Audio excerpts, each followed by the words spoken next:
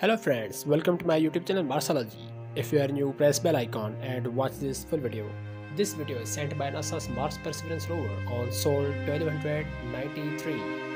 The colonization of Mars is about establishing a human colony on Mars and the future is moving from science fiction to potential reality.